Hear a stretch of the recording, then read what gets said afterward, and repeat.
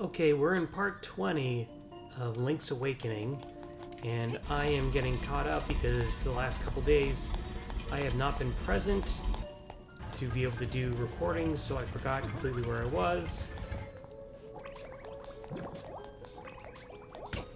Wow, son of a gun.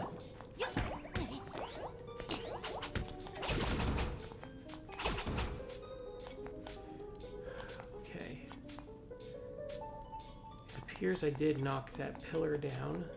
So I got one of them. I got that.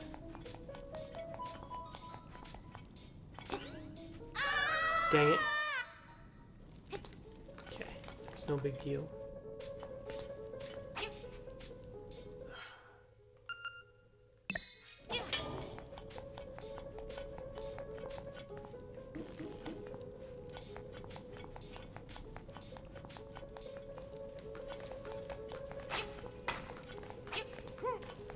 Interesting that he didn't throw a bone at me. It's alright, don't have to worry about that. Yeah, the upgraded sword definitely helps in these situations. Farfignugans! Dang it!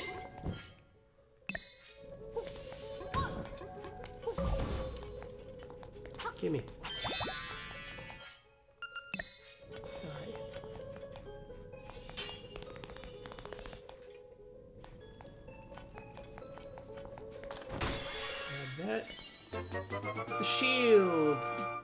Hooray. I can block those stupid laser sh shots. I don't have a key.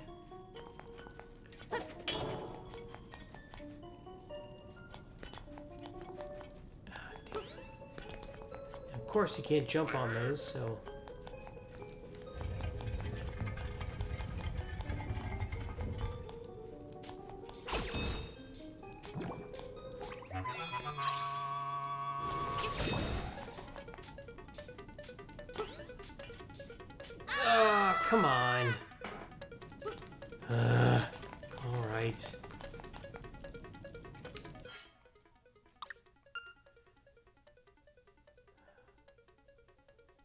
I mean, I do need a key of some kind, I guess.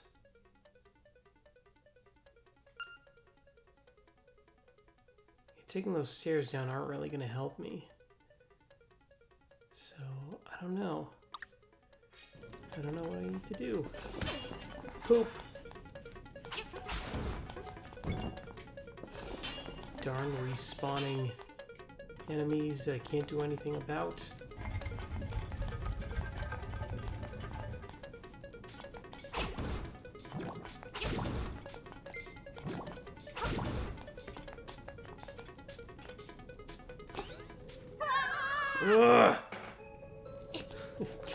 Dang it. All right.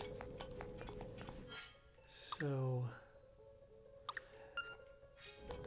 might be able to actually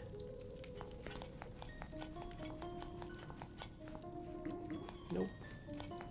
Kirby figure. Okay, there he goes. It's a key. It better be a key. no! Stupid stone beak!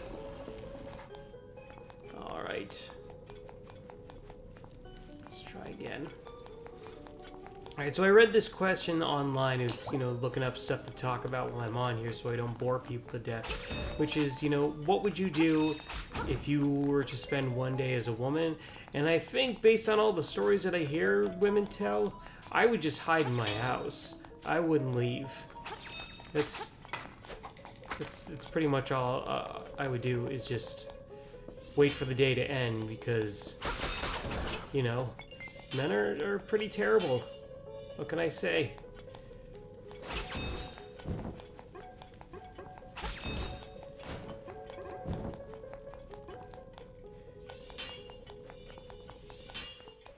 Yeah, I have nothing to follow that up with. Just men are men are, are not kind people towards women. Man, there's been, speaking of, a lot of people speaking up about uh, plagiarism and stuff, and consarn it. Um, in, in different online communities and how they're dealing with it. And, um, son of a gun. Alright, that's not gonna work.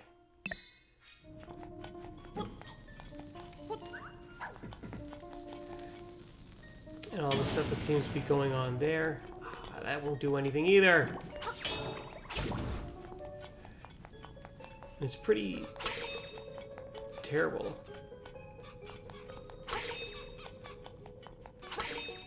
There. You guys. Um, and I, the only reason I mentioned that too is because we're talking about, you know, women and how they're treated by men, and you know, even I can't remember the creator's name because I've been off of, you know, YouTube and all that stuff for a good long while now, and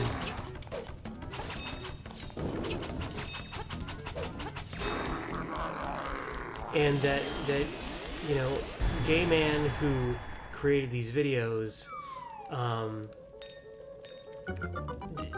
just he was terrible towards women and how he felt they they treated him. And it seems it seems terrible that even someone who would potentially be a an ally to women who's like oh yeah you know like men can be terrible, you know, still does terrible things and makes them feel less than and and all that atrocious stuff. So anyway, I'm just I'm grateful that person has deleted their presence online.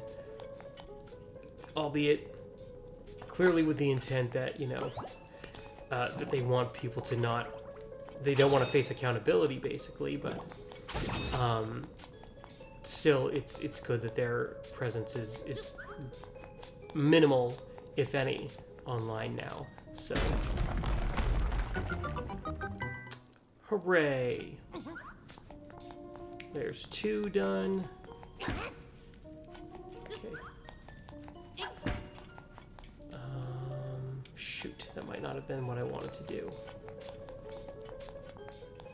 That's alright.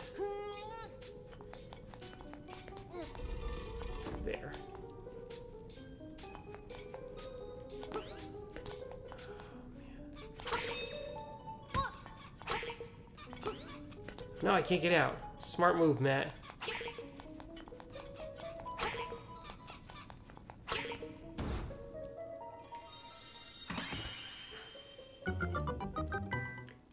Bing, bang, boom. Yeah.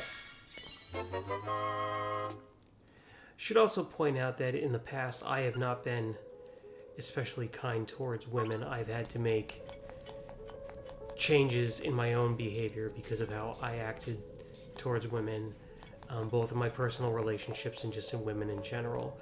Uh, part of that was due to my choice to drink.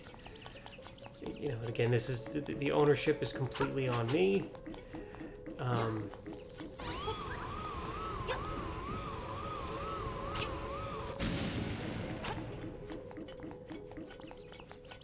but otherwise, you, you know, just I, I I didn't have the best take on women and how to treat them and did not have good role models for examples for um, for how to treat women. And again this is this is all coming back on me. Like I take ownership of that um, that I I just should have known better you know? Um,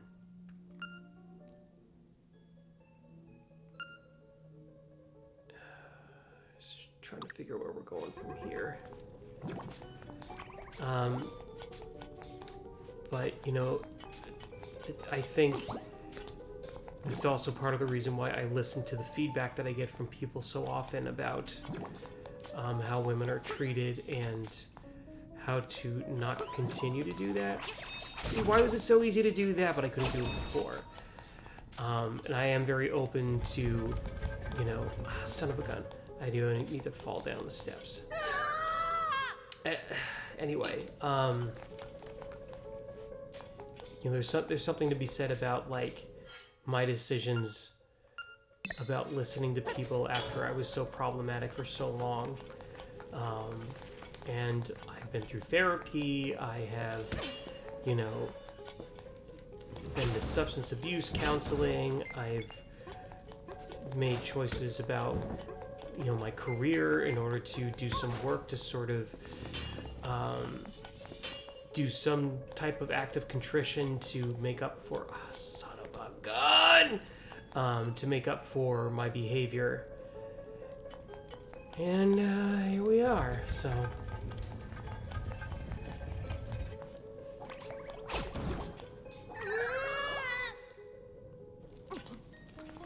I am just striking out.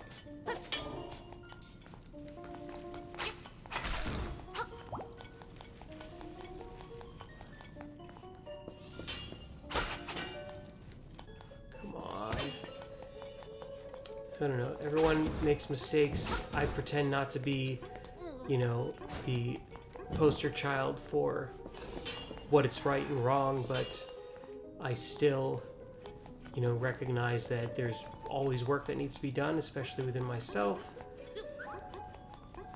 And I would hope that others try to make the same efforts themselves, but you know, it's it's one of those things too where, you know, people have to want to change in order for it to happen. Uh, I was an addict. I, you know, was was not the kindest individual towards partners, towards um, other people in my life.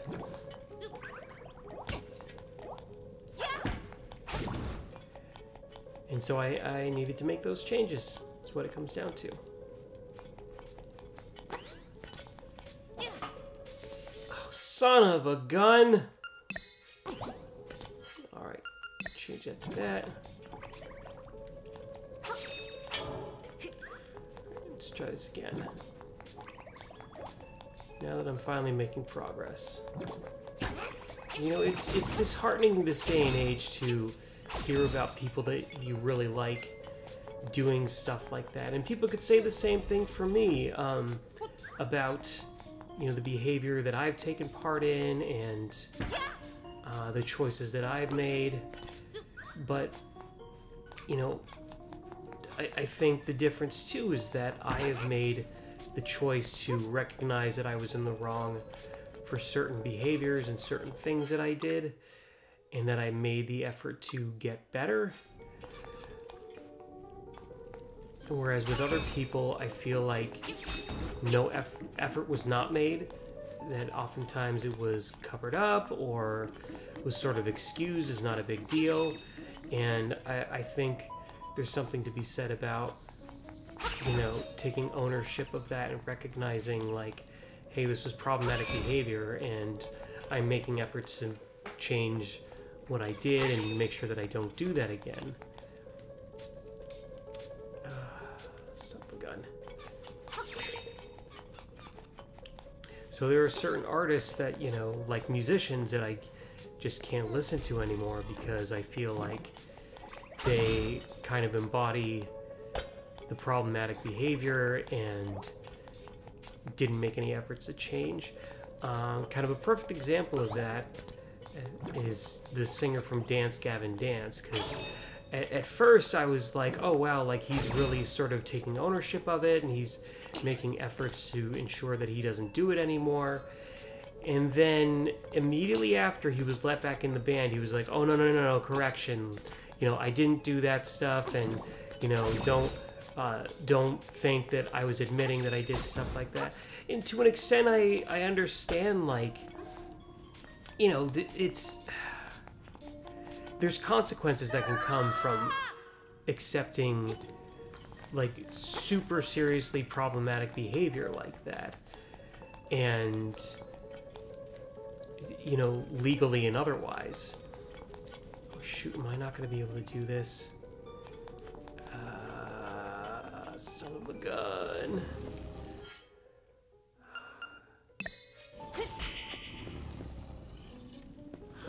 No, you know what? I need to go up this way. So anyway, there's there's consequences for accepting your role in doing stuff like that. I, obviously, de it depends on the, the situation, right?